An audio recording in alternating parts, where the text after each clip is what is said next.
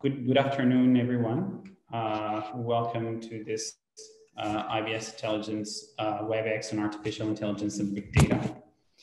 Um, we're here to, uh, to, to host uh, uh, two, two panelists, Mr. Ram Narasimhan, the Global Head of AI and Cognitive Services at Xebia, and also Ravi Subramanian, Subramanian, Senior Vice President and Head of Banking Practices for Hexaware Technologies. Uh, my name is uh, Vincenzo Casillo. I'm a principal at Cedar Management Consulting uh, for the FS practice. And uh, I will lead you through this, uh, this presentation. So the presentation will be basically structured in three pieces. So we have uh, the first part, which will be my introduction. I will just, I will have a couple of slides uh, regarding what artificial intelligence, artificial intelligence actually is, what big data is. Um, so very academic slides. I will try to make them crisp so that nobody gets uh, gets bored during the session. And then we will get into the, the application of AI for in financial, into financial services and key technologies used. And also we will have a look at the uh, key initiatives in GCC countries of AI and and big data. So. Okay, so um, when we talk about artificial intelligence and big data, let's introduce the concept. So before before jumping into the into the straightforward definition, we can start putting some clarity around the idea of AI by dividing it into two high-level categories. So we have what is called general AI, also uh, known as broad AI or strong AI, which is the idea of a machine that entirely fuses humans' ability to perform a wide variety of tasks, conduct generalized reasoning, um, applying common sense, and solving problems creatively. Uh, in essence, is what we see now only in science fiction. So uh, I think we're, we, we have still, still to wait a few decades to see it uh, thoroughly applied to financial services and um, uh, daily, daily technologies. With respect to the second, second category, we get into the narrow AI. So narrow AI is instead the ability of addressing a highly specific problem. Uh, like for example, identifying an object in a photo or winning a chess game. Now, a, a good question that people may be thinking is, why does AI really matter? Well, if you think about it, even with most traditional computing techniques, no humans or group of humans could effectively analyze staggering volumes of data created every day and detect patterns, derive insights, and drive actions. So essentially, AI, it is the only tool at our disposal to do that. And this is not only for the sheer scale of data generated, but also due to the fact that such data is raw and unstructured. So giving some also some basic notions about what, what unstructured and structured data is. So when we look at unstructured data, unstructured data has no predefined model or organization. For instance, uh, the millions of photos uh, that are exchanged randomly or the hours of conversations amongst, among stockbrokers, uh, or also all those emails exchanged between servers are a typical example of unstructured data. Um, when we go to structured data instead, structured data can be codified, it can be placed into spreadsheets, can be sorted. For example, if you think about um, income statements uh, or historical temperature or, or records of transactions. These are all um, examples of structured data. Now, going to uh, an essential component in AI, well, we get into learning.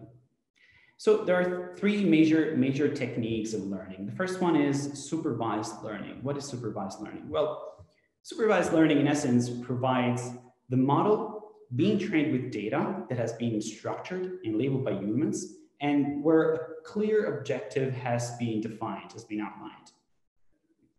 The second category is unsupervised learning. So uh, training data has no preset instructions or labels set by humans, but allow the model, model to identify its structures, uh, its patterns, and identify its groupings.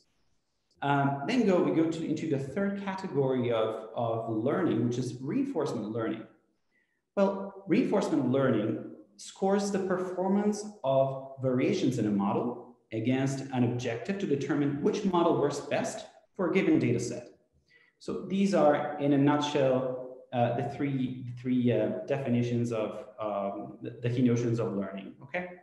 Now, when we get into now the definition of, uh, of AI, well, AI in essence is nothing more than an umbrella term, an umbrella term that encompasses many different approaches. Um, uh, we will see later, we have the several techniques, uh, machine learning, neural networks, genetic and evolutionary algorithms.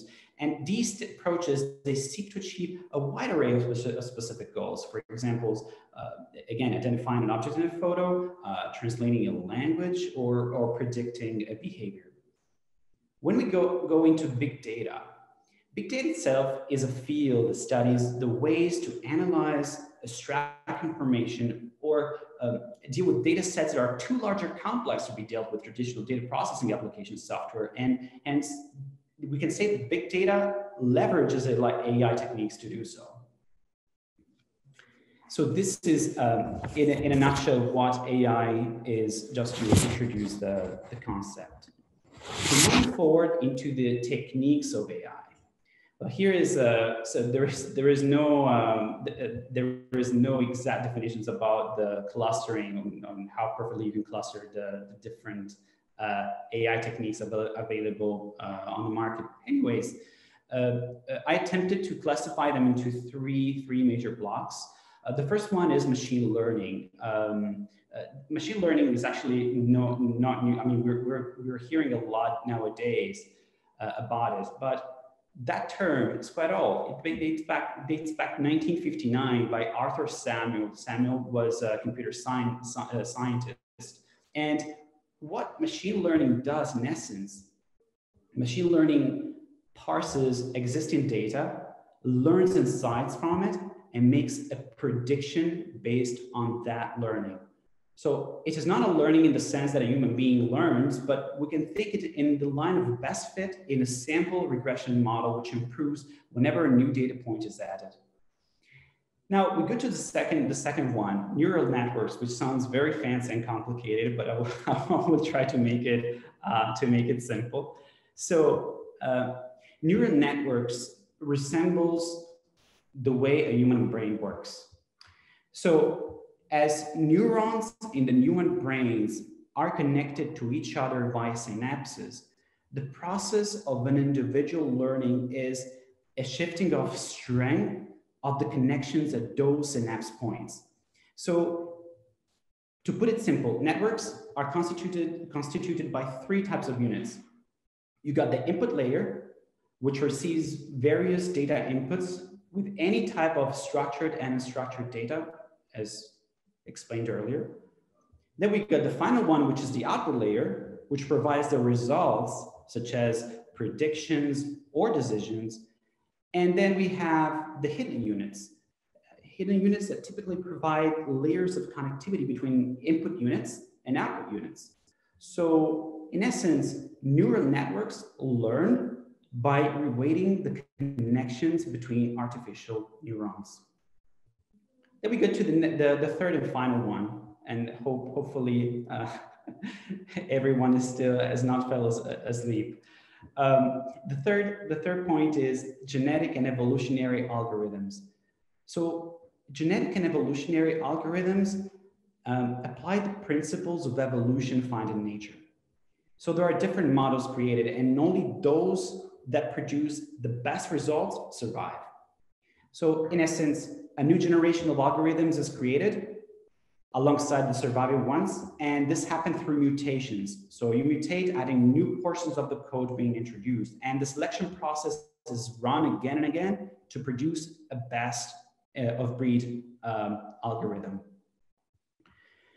So now the, the uh, I would say that the, um, uh, the most immediate question that they would, or the, the most immediate um, um, uh, comment that anyone would think after having thought about how complex these models can be would be, okay, so the best would be to have the most complex, complex model to have the best result. Well, it's not exactly like that because actually complexity raises two big concerns. And I explain you why. So first of all, we have resource, constraint, resource constraints. As models complexity increase, so do the resources required to operate it. And there is a trade-off between marginal improvement in predictive result and increased cost in terms of resources. And we call about, think in essence about electricity and uh, human talents. And then we have also the black box, uh, black box effect. The uh, black box effect, see, whenever a complexity increases in the model, it becomes difficult to get an understanding why a model resulted in a given output. And as you can imagine, this raises concerns, the main rate concerns uh, uh, for uh, a lot of financial regulators who need to understand what is the root cause of such a decision.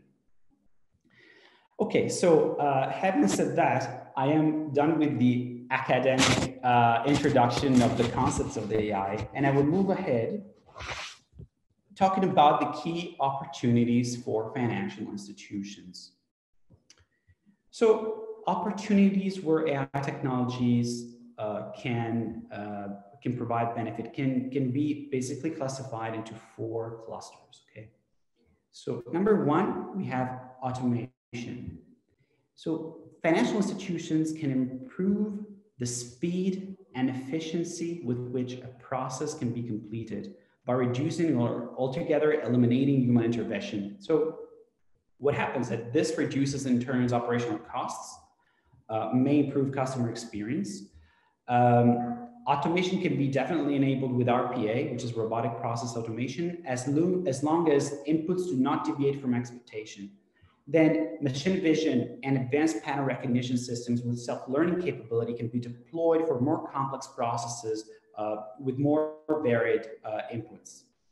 And then we get into customization. When we talk about customization, it is possible to receive highly customized financial products and services in, uh, for example, in wealth management and wholesale banking, which are typically accessible to those able to pay higher fees as typically require human intervention. AI can break this paradigm, can break this, this trade-off, um, and enables personalized financial product at zero marginal cost once a system is in place. So think about a very easy example, the robo advisors.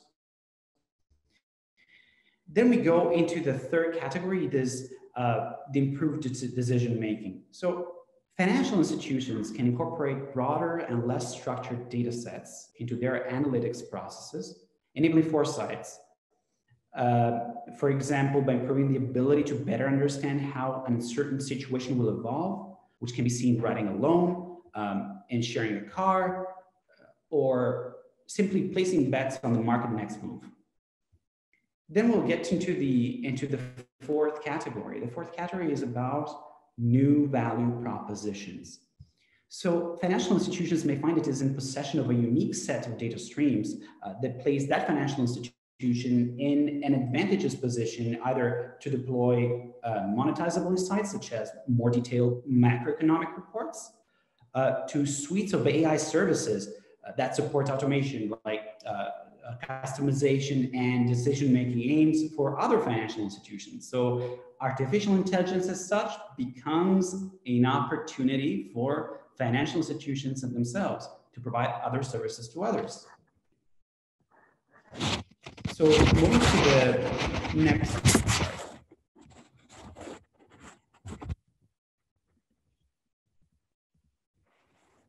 Yeah.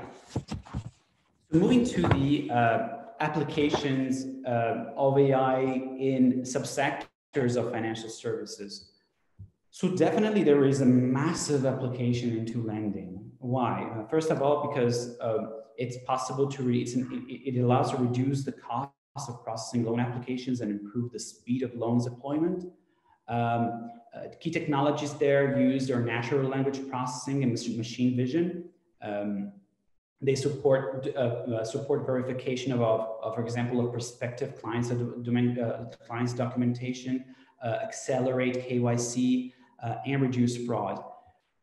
The same technologies are also applied to support loans to small and mid-sized businesses. Uh, work can enable the ingestion of non-standardized documents like, like financials. Uh, so this removes the need for manual processing and data analysis. Then underwriting models can improve decision-making around lending activities, for example, by including forward-looking indicators about a prospective borrower's ability to repay, uh, potentially reducing the number of non-performing loans, but they can also increase the pool of potential customers by using alternative data signals uh, to assess their credit worthiness wherever uh, uh, traditional credit agency data may not be available. So big data here supports with a range of new resources such as bill payments, social media, media posts, um, uh, shopping behaviors, which can be viewed by, used by financial institutions to develop new models. Then also integrations with prospective borrowers' IT systems, such as accounting supply chain management system can enable real-time data flows, uh, which anticipate the lending need. Then going to wealth and asset management, uh, uh, natural language processing and machine vision can surely support, support faster client onboarding. Uh, reg, RegTech firms can automate and streamline aspects of the compliance process. Uh, there are efforts to automate large portions of quantitative modeling processes that are central that are central to the uh, investment decisions for a fund manager. Then we got into insurance. Insurance claims processes to reduce costs and improve customer experience. Uh, fraud investigation automation through automated patterns of potentially fraudulent activity, such as similar claims found by other individuals. And this frees up investigator to focus more on more complex aspects of their investigations. Um, and again, we go uh, to payments. In payments, we got compliance. So in compliance realm, AI comes into aid for financial institutions to abide by anti-money laundering financial crime regulations.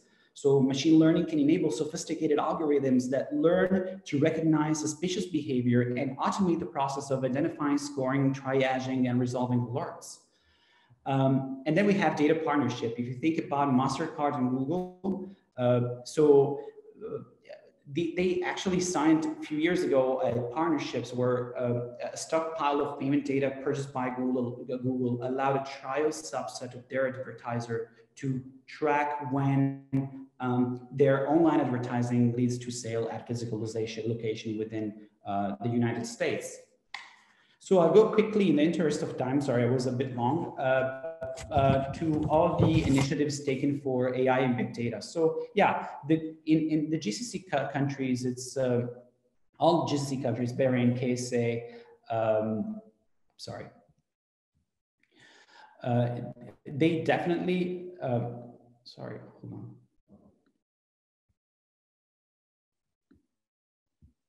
Sorry. Uh, so saying that uh, Bahrain, KSA, uh, UAE, um, they all had some initiatives both, both for AI and big data. So uh, for example, Bahrain implemented the Bahrain 2030 vision. Uh, in big data, they had the open data strategy. KSA also had opened a new center for AI of energy. on big data, they, um, they, they launched large scale cybersecurity initiative uh, same for Qatar. Qatar, uh, uh, the cabinet approved the establishment of a committee for Qatar artificial intelligence strategy.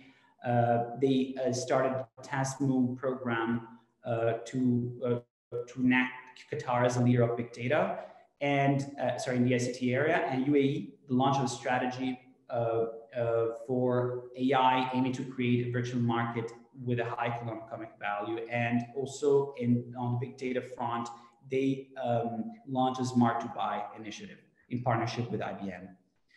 So I'm done now. Uh, I will um, I will definitely switch on to the to the next um, uh, to the next uh, presentation. Ram, uh, over to you. Yeah, thank you so much. Uh, hi everyone. Uh, my name is Ram, and I take care of the AI and big data portfolio for Xebia Global Services. So today I'll spend next 10 to 15 minutes on some of the AI initiatives uh, that we see, the kind of trends um, that we see is emerging in the industry. And I'll also walk you through some of the case studies related to that. so in the next slide, you uh, in next two or three slides, we'll talk about um, you know what Xebia does as a firm, and following that, I'll just jump onto the trends and the kind of use cases and things like that. Um, yeah. So if you can move to the next slide. Um, yeah, if you can, yeah. So uh, Xebia as a firm, we started operating in 20, 2001. So we've been in industry for last 20 years. And uh, predominantly, as you can see, uh, with our global footprint, we've done exceedingly well in terms of uh, market capitalization and in terms of working with different uh, you know, domains and different kinds of customers. Uh, we work with top 30 banking institutions globally, so we've done fairly well. And um, uh, most of our top customers are banking customers at this stage. And we carry a niche in terms of launching digital banks as well. So that is also something uh, more than two or three projects that we've started in last six months. Uh, so we've seen a great trend of adopting uh, technology to a level where the entire bank um, can be launched um, in matter of few weeks or months and uh, with all sorts of operations automated uh, with all sorts of reporting data being available in one place and uh, the scale of transactions, the performance of the transactions are also something that is sustainable. So that's the kind of competency that we bring in um, in this area. So if we just go on to the next slide. Um, so Xebia is a firm, uh, we have two products at this stage, StackState and Instruqt. Stack State is an AI ops product. Instruqt is a training product. Um, we can definitely explain more about it when we talk in person or you know in a detailed meeting regarding that. But overall, Xebia as a firm, we provide uh, technology consulting and engineering services related to agile, DevOps, data, AI, architecture, testing, and things like that. Digital and enterprise being one of our strong focus area, where uh, you know microservices-based solutions, application development, design thinking, um, software development, web app, um, all of those areas we cover end to end. And definitely cloud uh, DevSecOps is something that we are champions when it comes to uh, engineering. Uh, data and AI, you know, covering areas like data engineering, data science, reporting, data warehousing, um, AI, ML. So all of these areas uh, we've kind of executed uh, large scale engineering projects. And uh, quality assurance is another area where um, we excel and we have our own solution as well called XAssure, um, which we kind of cater to our customers in terms of uh, building an end-to-end testing portfolio platform for them, uh, which you know is able to scale as per their enterprise needs. Lastly, we also have something called Xebia Academy, uh, which does B2B, B2C trainings and also has university programs uh, which can be, you know, you can view it online. So this is the kind of portfolio that we carry. And uh, we do have alliances. Um, as you can see, some of the alliances listed here. Um, these are some of the key alliances. We do have other alliances in place as well.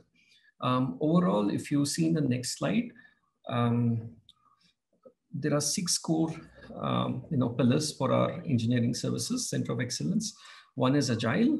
Uh, second one is Digital Enterprise that I spoke about. DevSecOps when it comes to you know Kubernetes, Terraform, uh, Docker. Uh, we're very good in that. Uh, cloud services, um, all the three major providers that we're working with. Uh, big data and data science is something that we specialize quite well and have tremendous amount of depth in it. And definitely, I think uh, having the quality assurance aspect end to end, uh, that is also a niche area. So when we work with our customers, we bring in this entire uh, bandwagon of center of excellence where there are dedicated teams and people and specialists who are able to come in and deliver it as a program. So that's about you know Xebia in a nutshell. Um, now we, will kind of go on to the BFSI uh, trends and um, what we see in the industry and things like that. So one of the interesting trends that we see in the industry right now is around you know how and why a particular um, you know for example a bank wants to implement AI basically they want they what they've seen is that there, there is a marked amount of improvement in competitiveness uh, when they implement AI. And how do you think this is going to happen? Right? Because for them, when, when they kind of think about technology or innovation, it is all about how do they expand the customer relationship? How do they actually uh, improve their presence? How do they actually streamline their operations and things like that? Let's look at the next slide, which actually goes a little bit deeper. So what this says is that majority of the benefits are from mid office and from front office operations. And majority of the cost savings are coming where um, you know the backend office, which is around core banking or transactions being stored or analyzed and things like that, that is all fine. But then the entire integration and relationship to the front end or communicating the information to the customer, communicating the information to the portals and things like that. That is something that could be optimized, uh, you know, optimized and automated further. And that is where a lot of innovation and investment is going in um, at this particular case uh, in the industry as per research. And, the, and out of these things, in the next slide, you will be able to see that um, about 17 to 26% the impact, major majority of the impact is on customer engagement, right? Um, the kind of relationship they're able to have with the customer, the kind of conversions they're able to have in terms of sales, in terms of product sales, uh, conversion of product offerings, what is available for the customer, what information they can gather from the customer. That is the innovation, um, you know, that AI innovation is able to help uh, with and, and extract more information, which is in turn able to, you know, push back lot of other intelligence back to the system. And uh, you know the banking executives are able to take better information um, and you know, take a better decision based on the information and you know utilize the technology. So in a nutshell um, you know front office mid office operations improvement in customer engagement these are the three areas where ai is having a significant impact and majority of the cost savings from 2020 to 2023 is into these areas and the investment is here. So that's what we see in the industry. So now let's look at some of the use cases, right? How do they actually achieve it? You can see here, there are lots of use cases here, right? Uh, one related to KYC, um, sentiment analysis, um, you know, uh, NLP, NLG, and things like that. For example, let's uh, combine call center agent matching with uh, KYC and AML, for example, right? So if you take video KYC, uh, where you're trying to provide a loan to a customer, or you're trying to activate a new account and things like that, it is a combination of organizing your agents to talk to your customers. On the other side, it is about recognizing the face of the customer recognizing the identity card, recognizing the details related to the customer, combining them, processing them at speed in real time, and coming up with a successful verification, right? This entire journey has multiple AI solutions built into it, right? And it is also now possible to have this sort of a scale because of cloud as well, which is providing the scale and bandwidth to deliver complex solutions. So these are some of the you know, use cases that are actually impacting the front office and the mid office operations. You can see with the previous implementation, you had to deal with the front end where you submit a form, you go to the office, you sign something, you talk to the branch uh, manager, you come back. But here it is all combined in one solution in matter of four or five screens. So that's the level of sophistication AI is able to bring in. So if we just look at the next slide, um, you know, um, now we spoke about, I mean, previously we spoke about the AI use cases. Now let us look at uh, from a banking executive's perspective, right? I've just broken it down into seven different layers, product offerings and pricing. So what happens here um, if, if a customer is on online portal and they want to buy a credit card or they want to buy a EMI scheme or they want to go buy some loan, um, some gold, and they want to kind of buy some investment product and things like that, there has to be a digital workflow which actually allows them to do that. And on top of it, an engine which determines what is the right fees, what is the right pricing structure which should be linked to this particular transaction or purpose. So that is one level of innovation a lot of people are actually focusing uh, when they are thinking about customer acquisition, customer um, you know retention and things like that. This is one layer of um, entire program that they're investing in. Second one is around Salesforce enablement. Um, can you just go back? Yeah. Uh, second one is around Salesforce enablement, where uh, we are talking about smart portals, which showcases a lot of information related to a customer and the products together and allows the relationship manager or the banking executive to take a call on the fly. Customer centricity, a um, lot of banks are investing on customer persona based products where they're able to see entire information related to deposits, wealth, investment, insurance, everything together in real time. So that gives them a lot of confidence and you know support. Um, payment solutions, as you can see, uh, there is a lot of uh, widespread fintech uh, apps integration that is available. So a lot of banks are now opening up um, to the integration piece of it. At the same time, they're also doing their own transaction analytics where they're getting down to the details of every transaction and trying to pick the intelligence from it uh, so that they're able to sustain better in the marketplace. Uh, digital solutions where a lot of banks have invested already on virtual assistants, chatbots, and the subsequent NLP engine, which actually classifies, recognizes the context of data, and then triggers the backend forms and digital workflow to carry on the task, right? Um, fraud and security, what we see is that a lot of suspicious transaction analytics is being performed for internal systems and a lot of models have been, uh, you know, apart from the business units, these are for the internal IT systems uh, related to the users, approvals, and things like that. And obviously, the fraud and risk related uh, models are anyways in place, and there is also a lot of sophistication, a lot of investment into that as well. Uh, regulatory wise, yeah, compliance automation is something that a lot of banks are actually focusing on.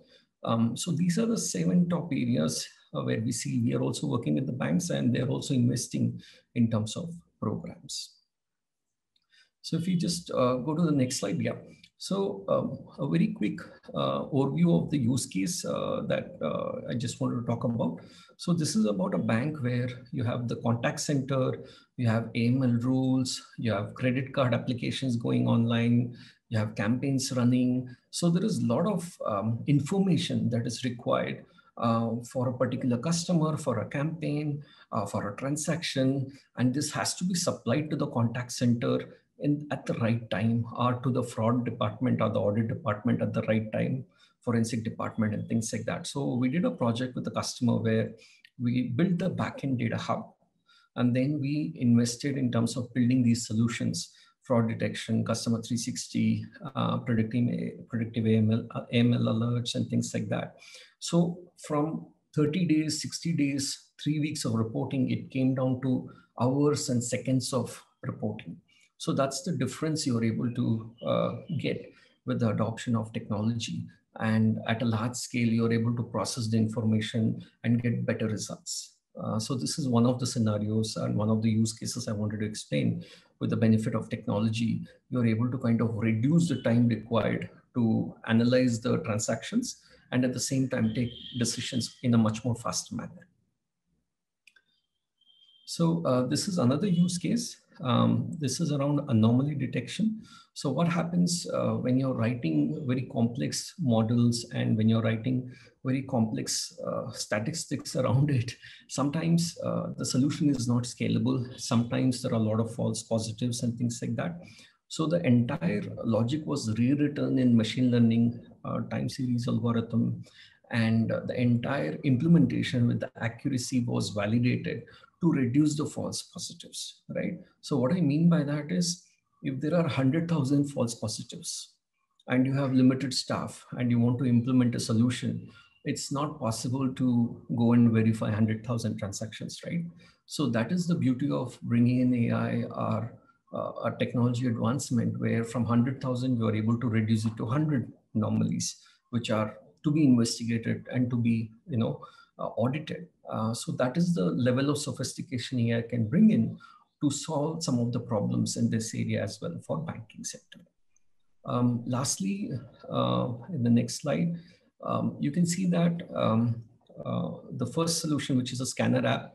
So if you're doing any sort of OCR uh, application where you're extracting information for loan processing, um, things like that. So that is a cognitive services solution that can be built for a bank, loan processing, KYC, ID verification, and things like that. Uh, so that is something that we do for a lot of our customers. NLP engine for building a, a, link between your transactions, customers, and brands. So that is also something that we've done for the banks.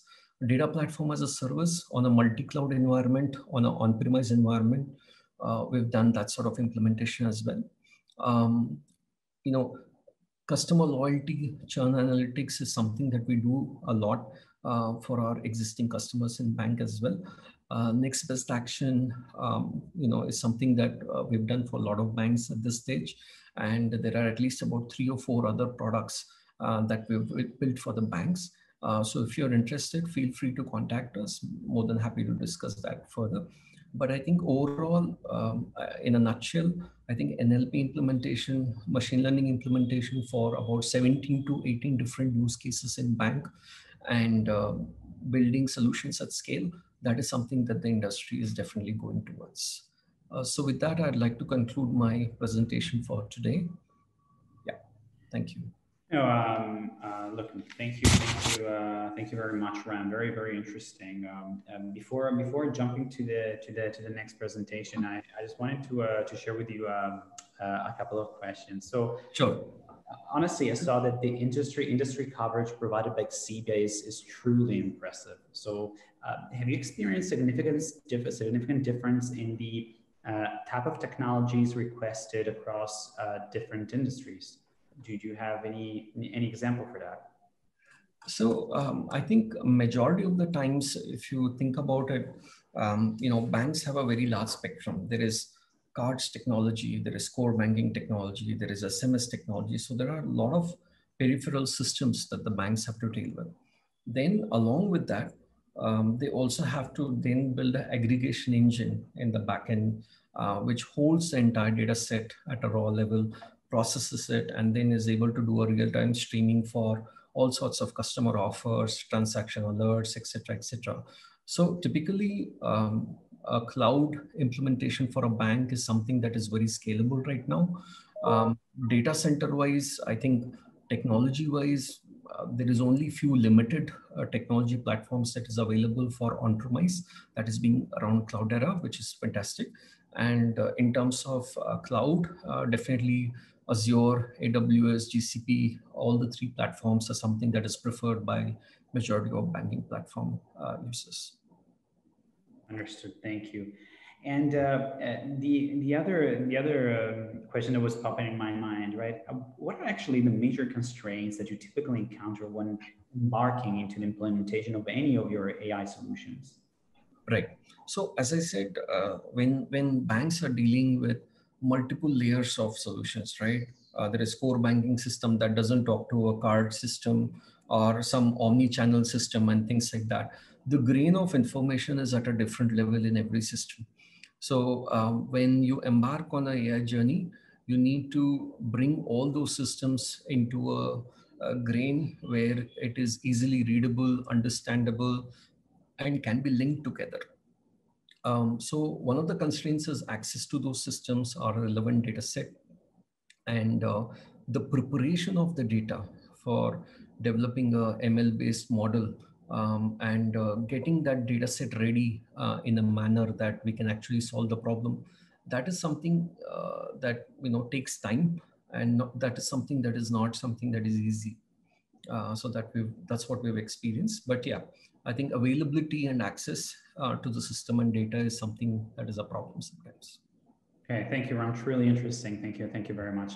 So I will move ahead. Uh, so uh, Ravi uh, from Hexaware is, um, uh, is, is now uh, leading the stage. Please, Ravi, over to you. Yeah, thanks, Vince, and uh, thank you, Ram, and hello, everybody. I'm Ravi from Hexaware.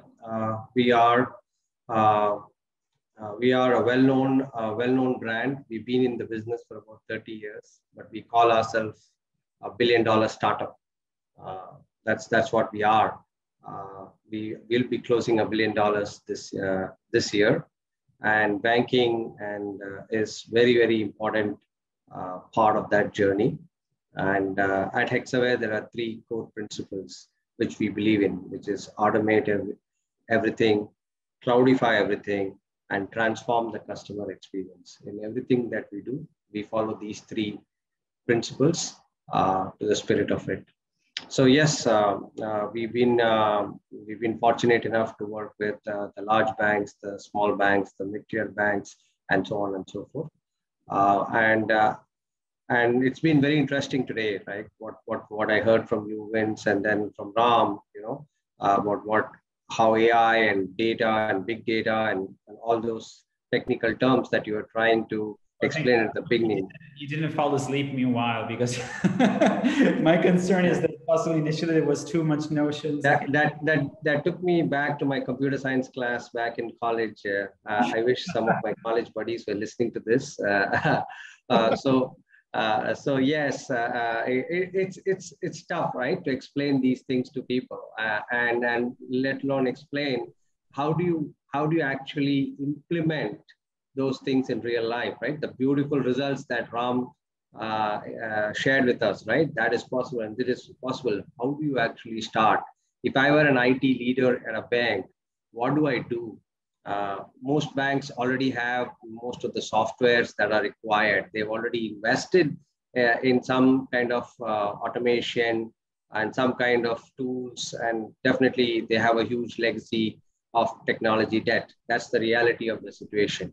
How do we how do we help them to actually leverage what they have in their real estate and exactly uh, help them uh, train the dragon, right? And and and help them help them fly. Like how do you make their own data and the and the IT landscape actually become make it a real asset, make it work for them. So we've been uh, racking our brains at Hexaware uh, within the banking team, uh, and then discussing with several of our customers. Hey, you've invested X million dollars. You ran three transformation programs, and as Ram rightly said, core banking doesn't talk to omni-channel, omni-channel doesn't talk to cards and so on and so forth. The problems still exist. Yeah. What do we do? And all these brilliant topics that uh, Vince, you just told us, right? Deep learning, machine learning, and all that stuff. Uh, how, how do we actually bring it all together? How do we put a method to this madness and actually take it step by step and, and, and, and unravel this mystery? That's something uh, that we actually, uh, out of personal need and also uh, after intense discussions and interactions with the leaders from the bank side, uh, we've come up with a, with, a, with a model which helps any bank actually to actually implement all that great stuff that, that, that you were saying in the beginning of this discussion and Ram shared. So if you could go to the next slide, I would like to introduce to you uh, a set of discrete nine steps that we actually follow. It's uh, we internally call it the butterfly because just as an emperor butterfly requires nine steps uh, from being a caterpillar to be a full-fledged butterfly, this is how uh, your data take, takes wings. And this is how AI can be brought into your operations inside your bank. And what do you do? It's irrespective of the tool, irrespective of the technology that you use. What, what happens is uh, you need to organize your data in a particular format so that you can feed it to all these powerful tools that have come up. Because today, the art of the possible is humongous. So it's a, it's a nine step process. And let me break it down, right? The first five steps are basically business centric or, or, or domain context, context centric. Then last four steps are extremely technology intensive. So that's the real uh, merger of the two. Now, what comes out of this if I follow this nine, nine steps in a bank? Well, uh, I get to a point uh, based on my maturity uh, that I'm able to predict the business events based on the IT logs and traces that are there in my uh, ecosystem. I'm able to connect everything uh, in real time based on a business context. So based on my customer behavior, my consumer behavior, I'm able to connect the dots and predict the next action that the customer would require rather than make the customer come to me and say, hey, can you give me this? Instead of I'm telling the banker in real time that Vince will need these three products in the next two quarters. I may be roughly right. I may be 60% wrong. No problem. But it, hey, it doesn't, doesn't hurt because there are a lot of business intelligence systems out there and people have invested a lot in that. That'll, that'll do this, but all that is after the fact. Nobody does it before the fact. So this, this step, these steps, let me just walk you through, take a few minutes and walk you through, uh, is that the first is we need to get a context of the enterprise. What is that the bank is trying to do?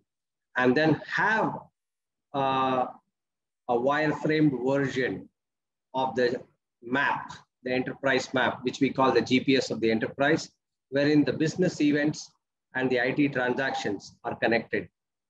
So every business event like account opening, customer onboarding, uh, uh, credit initiation, all these business events, what are the IT transactions which cuts across multiple IT platforms are associated with it? And what are the underlying technologies behind this? This mapping has to be there, which is what we call the GPS of the enterprise or the maps, right? And once you have that, uh, it's also known as better maps, B-E-T-R, better maps, that's how we call it. Uh, that, that gives that connect. Now, once you have that, you will have a deluge of information in any bank. That's our personal experience. We have to put the right level of signals, right levels of filters, and talk to the key stakeholders and say, hey, tell me your top 10 business transactions which keep you awake at night. Like if these things don't work, uh, everything will go south. What are the top 10 things? Tell me that. And then we do the value mapping and the effort sizing for that. And then we bring in the IT Gen Bank, put in all the IT applications that Ram spoke about, all those technology stuff, uh, identify the right tools. Every tool is great. Every tool is fit for purpose. So we have to identify the right tools for the right kind of uh, uh, level of granularity you need. And then once you do that, you start getting a bigger deluge of information. That is when the problem actually starts. You may think that you have solved the problem. That is when the problem actually starts. You know why? Because you have opened all the floodgates across the bank. Now, then what you do is again use this better map that you've got and then uh, funnel that information into the right pockets. So what happens is you, you get to a point wherein you're able to connect your service level agreements to your operating level agreements and your operating level agreements to your business level agreements and business level agreements to experience level agreements. Now, service level agreements are nothing but like it has systems have to be running all the time. Uh, they cannot like there has to be five nines and all that stuff. Everybody knows. And OLA would be right. If there are six hops in a bank to complete a process, we make it two. And then when you get to uh, uh, a business level agreement, you say that customer onboarding, customer, uh, the abandon rate of my customer onboarding process should be less than 3% or less than 8%. If I'm sure any banker who's out there who's listening to this, uh, they will just fall off the chair when I say 8% and 3% because these are great numbers. Uh, when you, uh, when talking about when you go online, apply for a credit card, they ask you for a bunch of details and then in the middle of it, you feel fatigue and then you leave. That's called abandonment. So that rate, how do I reduce that rate? And I sign up for that. I'll ensure that I will use the past transactions that customers have done in my IT landscape, use an AI engine to glean out the patterns and actually predict that a person with this demography, this background, and this persona is likely to abandon at this point. And hence, we need to fix this process proactively before it breaks down. That is what this model will help a bank achieve. And this works, this is product agnostic. This is a method which we have uh, come up and successfully uh, leveraged this uh, ac across the board and helped our partners to, to realize the value uh, that they were seeking. So those are the kind of things that we are looking at and uh, the art of the possible using artificial intelligence and data in, in, the, in the operations of a bank is what, uh, what is actually I see the future in. While it's great to build a digital bank grounds up, it's great to transform existing applications from technology A to technology B. That's all exciting stuff that always happens from time to time. But this helps you to leverage what you have already invested and get greater return. So the prediction is four out of 10 transactions going forward from 2022 are likely to follow a method or a model similar to this in any bank. That's the that's the that's the market spread and expectation for this. So uh, that's something that we are extremely kicked about and based on our experience. Now, having said that, I've told you the method, how to do it. If I were a banker or an IT, IT leader working in a bank, what are the first five or six things that I need to do in order to start make myself ready to even implement this? If you could go to the next slide, you see, you will see that uh, there are some basic stuff that one needs to do in order to identify the hot buttons. As I said, if these 10, thing, 10 things don't work, everything will fall down. And then you invest in immersive analytics, which means you don't pull out a report and then try to find, figure out what is going wrong. The report should be generated automatically, analyzed, and the analytics coming out of that should be actionable. And the person or the persona who is responsible for acting on it gets that in their to-do uh, to, to-do list. So the problem is not only detected ahead of time, the fix is identified ahead of time by correlating historical information using AI and data. And then the person who is supposed to fix it, it could be a machine, it could be man, don't know. That person gets that in the to-do list.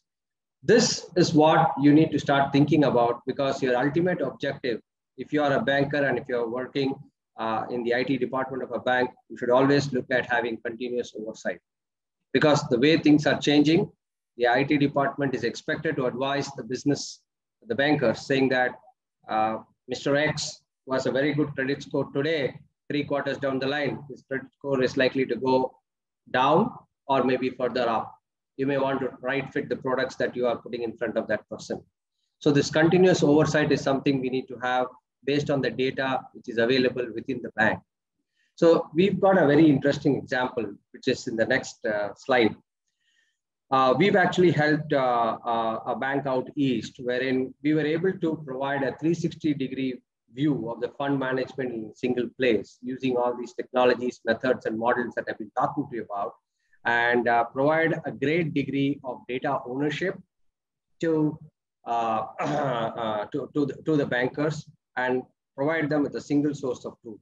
What happens is then the efficiency rate improved by just 30% and the, and the banker's satisfaction index just hit the roof. IT became a value center. It stopped become, being a cost center. So that's, that's the, the uh, what to say, the serendipitous fallout of this whole model of actually action uh, bringing ai and data to life instead of you know just looking at them with wow and awe saying that ah this is all tough stuff so no it is possible it is doable in fact uh, business areas like anti uh, anti financial crime anti money laundering as uh, ram uh, shared an example right it helped uh, these technologies and methods and models helped another bank in in in europe uh, wherein we were able to deliver them better business insights and uh, an efficiency rate was increased by 40%. And the biggest thing was the IT owner was able to predict what will go wrong or go right in the business over the next uh, quarter. Every quarter they were able to predict. And they had a accuracy rate of 30% to 60%. That varies on the maturity of the landscape, but that is good enough. Right? So that's to start because we have just begun. The AI and data journey in banks has just begun. Well, thank you very much. Uh, I, I thank you. I enjoyed sharing my experience.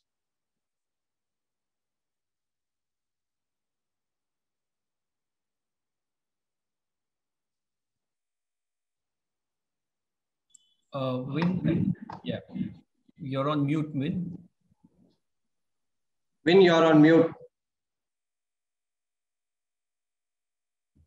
Yeah, sorry. I did something wrong with the configurations here. You, are able to listen to me now, right? To hear me? Yes. Yeah, yeah. Um, so I was saying, so, so thanks. Very, very nice, uh, nice and interesting insights from both of you. I also have a question from you, from you, Ravi. I was wondering, um, if you if you think about the um, the data access, so data in essence is everything, right? When we when we thinking about our modules, the accuracy of your model actually depends on the amount of data that you can, you can handle, right?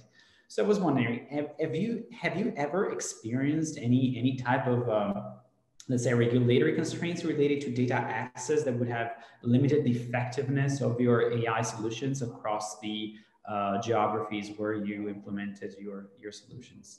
Uh, definitely. Uh, uh, what have, what we normally do is we anonymize the data and then uh, then uh, bubble it up and we actually normalize it and map it to personas. That's a standard way of doing it because there is a lot of non-public private information that is usually associated with banking and banking has a lot of strict regulations. So it does impact, but then when we use patterns, right? We use patterns to overlay on that and try to make the data as useful as it can be. Well, the short answer to that question is yes. If you if you, if you take don't have any regulations, I can do much better. But then, the, the data is not secure. I will not want give my data to a bank, right? So right. so it's a catch twenty two thing. Right, right. And it, I have an open questions to, uh, actually to both of you, Rama and Ravi. Uh, so in your machine learning solution, is there a specific type of learning for which you um, which you mainly use among the supervised, unsupervised, and reinforcement learning?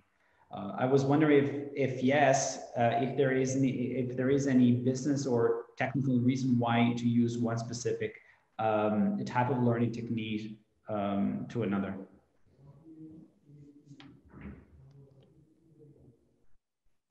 Uh, Ravi, you can go for it. Yeah. Yeah, uh, I'm sorry. Uh, can can you repeat the question, please, if you don't no, mind? My, my, question is very is very simple. It's just I was wondering. So we have different type of, of learning, right? In in, yes. in, in machine learning solutions. So I was I was wondering, do you have any uh, type of learning that you prefer among others? So we we've spoken about supervised, unsupervised, and reinforcement learning. Is there anything among the three of them that you usually use more in your uh, in your uh, systems or, or do you in your solutions or do you prefer them? See, uh, I'll go, if it's okay with Ram, I'll go first. Now I get it. See, in a, in, a, in a support kind of a situation, right, where I am responsible to run the bank, uh, it is always supervised learning that is preferred. Uh, and then, then it gets added on to the intelligence and then the patterns gets added and the intelligence improves incre incrementally. That's that's a that's a given. But then if you are doing something new like for example you are establishing a grounds up new bank and you're reimagining the whole thing um, and you're like questioning hey why do we need private banking? Um, why? Uh, questioning the basic principles. That is when you need this huge models that will run um, unsupervised learning. It will sneak into various other statistical models give you the output and, and in real time tell you what you're thinking is uh, really useless or extremely path breaking. So those are the kind of things. But in day to day, if you ask me, it's all so supervised learning is something that is really useful in real life today. Yeah, yeah. You Ram agree, right? yeah. So uh, yeah. So what happens is uh, there's always the kind of use case as well, right? So if yeah. there is a score uh, prediction, risk assessment, uh, fraud detection, image classification, you use generally supervised.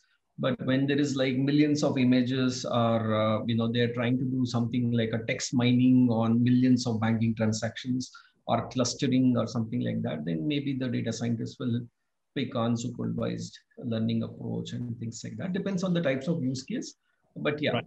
uh, I think it's better to bet on the ones that is going to work for the bank. yeah, of course, of course. Look, um, so uh, I think we are already at, uh, at the end of the of the webinar. I really want to, to thank you for uh, the nice intervention, for the, the great insights you, you, you gave us. Thank you very much and have a wonderful day.